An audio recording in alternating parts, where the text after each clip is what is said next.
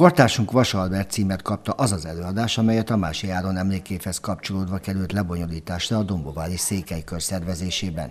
Kézenfekvő volt, hogy a valamikor a városban működő olvasókör szerepet kap az est folyamán. 20 évvel ezelőtt megalakult a Vasalbert olvasókör, akkor nagyon magas létszámmal, meg érdeklődéssel, és ez azt jelentette, hogy úgy működtünk, hogy minden hónapban egy regényt elolvasott mindenki, a hónap végén összeültünk és beszélgettünk róla, meg megvitattuk, meg, meg elemezgettük, és így szépen körbe jártuk a, a, világirodalmat, illetve hát a magyar irodalmat, és nem csak Vas Albertet olvastunk természetesen, hanem minden más magyar.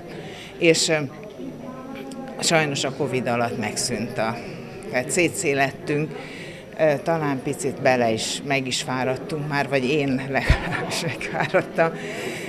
És most ez egy új lehetőség, hogy, hogy a Tamási Áron emlékév keretében ugye erdélyi költőket, írókat mutattunk be, vagy mutat be mindig valaki más, hogy most Vasalbertről szólaljunk meg, hogy újra összeverődtünk, és a hát én mondom a narrációs szöveget, a többiek pedig részleteket fognak a felolvasni Vasalbert említett műveiből, vagy visszaemlékezéseiből. Január-február az, az Vasalbert évforduló, a születésének is és a halálának is az évfordulója, és így januárban alakultunk, aztán valaki kitalálta, hogy legyünk akkor Vasalbert olvasókör, és így lettünk. Vasalbert nevét halva kinek ez, kinek az jut eszébe? A személyével kapcsolatos vádak miatt sokan nem szívesen vették kezükbe írásait.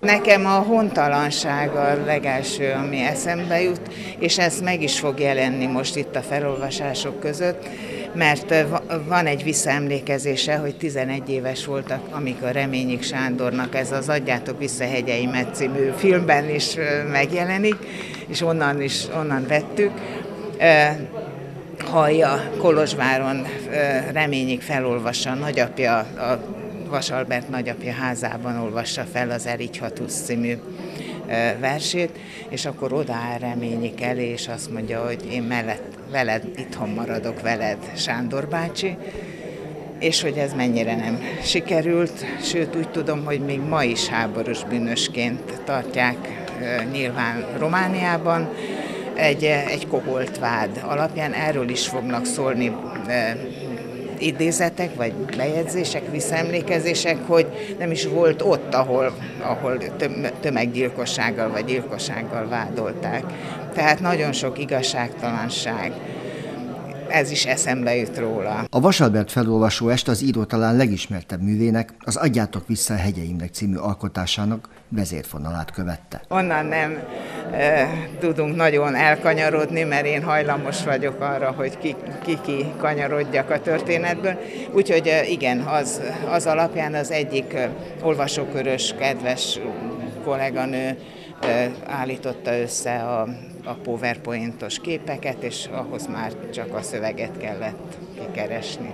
Az olvasókör tagjai örömmel fogadták az ötletet, hogy közösen idézzék meg az erdélyi magyar író és költő munkásságát. Mindannyian meleg szívvel gondoltak vissza azokra a délutánokra, amelyeket együtt töltöttek egy-egy mű feldolgozásával, elemzésével. Az olvasókör során havonta egy alkalommal szoktunk összejönni, előre meghatározzuk, hogy mit olvasunk, és utána a Markovics Magdolna iránymutatásával feldolgozzuk az olvasottakat. És ez, ez nagyon jó, mert, mert a mindennapok fölé segít egy kicsit felemelkedni, kicsit eltávolodni a tehát a művészetek segítségével könnyebb a mindennapok terhét cipelni. Nagyon sokszor egymást inspiráljuk, és vannak olyan dolgok, amire egymás segítségével jövünk rá. A természet szeretetet mindenképpen megemlítik azok, akik előszeretettel forgatják a kezükben Vasalbert műveit, de mást is kiemelhettek vele kapcsolatban. Az erős istenhit, amit nagyon fontosnak tartok ebben a mai világban, a kedvenc talán a Fontinelli boszorkány és a farkasverem. A Majoros Galéria megtelt érdeklődőkkel, akik a mindennapok rutinjából kizökkenve örömmel hallgatták az olvasókör tagjainak felolvasásait.